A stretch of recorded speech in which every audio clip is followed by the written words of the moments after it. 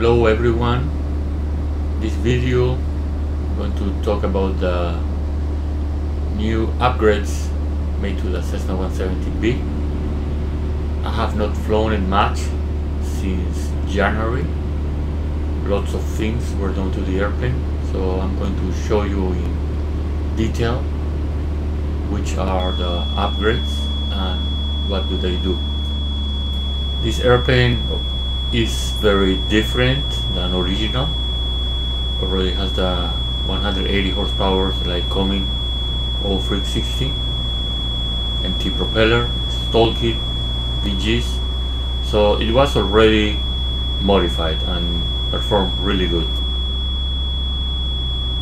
This is one of the first ground bars I'm landing in six months. This is a Skyjet Reaper I can already feel that the airplane performs better.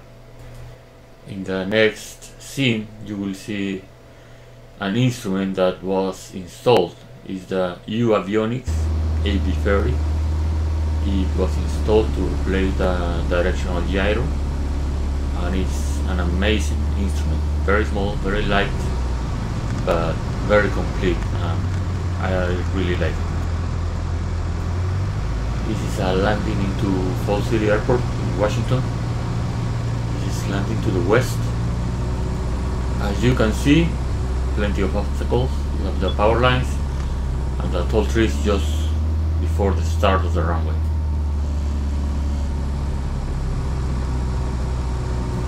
You can clearly see the AV30 to the right and to the top. Most of the time we land from the west, but when there is a tail wheel that is like a quarterly tail wheel with the tail wheel airplane I prefer to have a headwind and a quarterly tail wheel so we can choose this approach.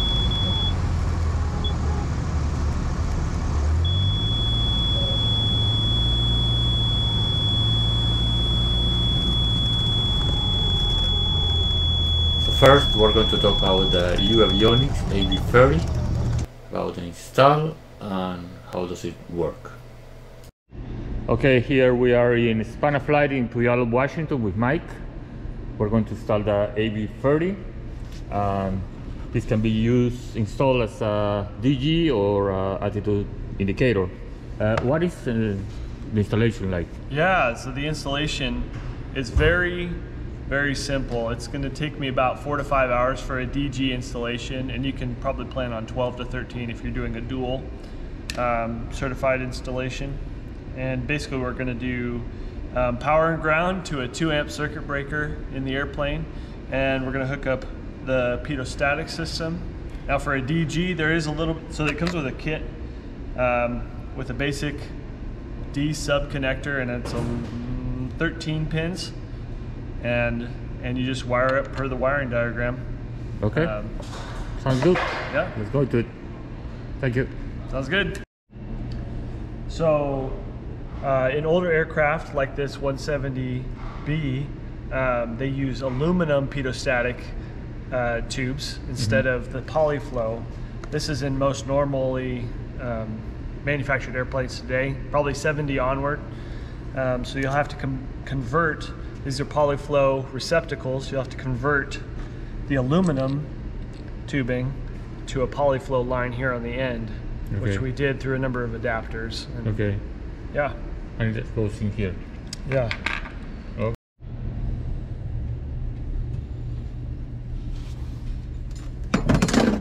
Here we can see Mike under the instrument panel working out the installation something I like about this instrument is like you just take out the old DG and just put this one in. You don't have to modify the panel. Okay after we've installed the AV30 um, to get into the um, install mode you push the center button push set and turn on power and you hold it all the way through the um, boot booting up mode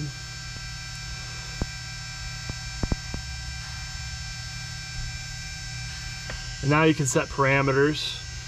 Um, essentially, what you're gonna do is you're gonna hit this left menu button you hit it until you get to install. And then you can rotate to select the function uh, of the gyro, either DG or AI, function lock. You go through here, you can set your trim settings, you can set your outside air temperature settings, your V speeds. Um, this is how you'll get to your calibration menu. Um, come all the way over here, setting V speeds. And like vibration monitoring, gyro cal, magnetic calibration for when you're ready to do a flight test, and then um, access the software and serial number. But that's how you get into the setup mode for the AV30. Excellent, thank you. So, final part of uh, just doing a calibration is uh, making sure the airplane is level laterally. Um, and then you can also, when you set your trim, you can level it longitudinally as well and, uh, and calibrate um, the instrument. Essentially, do the same thing, push the, uh, the middle button while you're turning power on, and you, you set the calibration for the lateral and longitudinal level. Okay. Um, the only thing that uh, I experienced on this airplane install is the plumbing for the pitot-static system was aluminum, which is uh, trying to get aluminum to the polyflow fittings was a bit of a challenge, but uh, got it nailed now. And The instrument itself is easy to install. the instrument itself is super easy to install. There's, um, if you did everything, you got seven wires to install, and then and then plumb the pitot-static lines. That's Awesome. that's easy. Yeah. Awesome. Yeah. I'm excited for it. Thank you, Mike. Yeah, you're welcome. Okay. Here is a list of all the options for data. You cannot have all at the same time, but you can choose and program to have six. So there is plenty of information you can have on the AV30.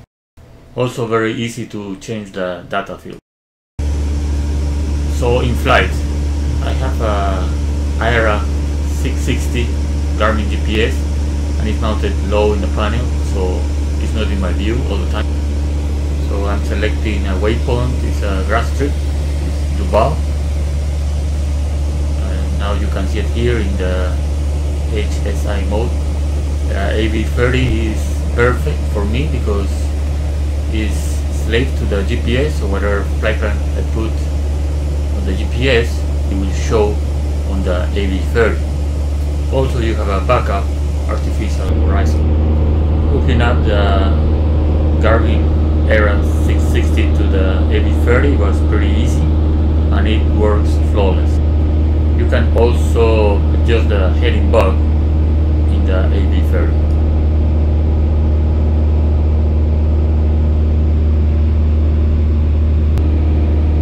This is arc mode. Here you can also adjust the scale and heading bug.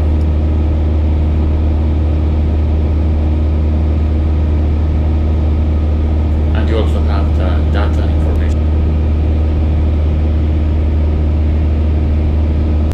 And here is the compass rose, which you align for the flight with the compass. So very happy with this instrument. It's like four instruments in one and has lots of information. Works very nice and fits in the panel without doing any modifications. Plus, looks very good.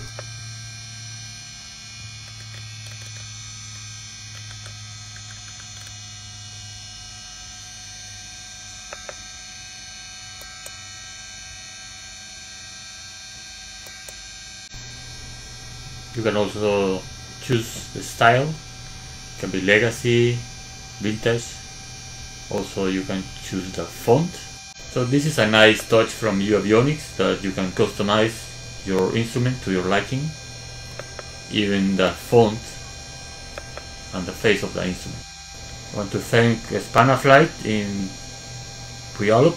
They did a great job with the installation and programming of this instrument. Now to the next modification, we are installing the Atlee Dodge folding seats. We are in Spanaflight Pierce County, Washington. They did a great job. You have to install the rails and custom fit everything so it can slide very easily. The folding seats are lighter, very easy to remove and allows me to put two mountain bikes in the airplane. While working on the folding seats installation, we found out that the tail bracket was cracked. So the tailwheel experts are the landing gear works in Renton Airport and I took the airplane there. Lots of disassembly was required to put the new tail bracket. Also at the landing gear works, the battery was removed and it was placed 3 feet back. With the engine conversion, the airplane was most heavy and I was flying with 70 pounds of ballast to compensate for that, so I have the sweet spot CG. We also installed an extended baggage compartment, so now the battery is behind the extended baggage compartment. To be able to do this, we have to have a field approval, and by doing this, now I can fly without the ballast, so I save a lot of weight, and the CG is in the sweet spot like if I was flying with all this ballast. So definitely was totally worth doing. Now we're doing the weight and balance. You have to put the airplane in a flying attitude. This is a heavy 170. The tires alone are 72 pounds. The seats alone are like 60 pounds. I have extended fuel tanks, but it has really great performance. So I'm pretty happy with all the modifications. The Alaska Baby Bush wheel was tired, so it was time for a new one. So this video was mostly about technicalities and some upgrades. I'm really enjoying the 170 again and get to fly as much as I can. Hope you guys enjoyed this video and if you want to support Backcountry 182, please join me on Patreon.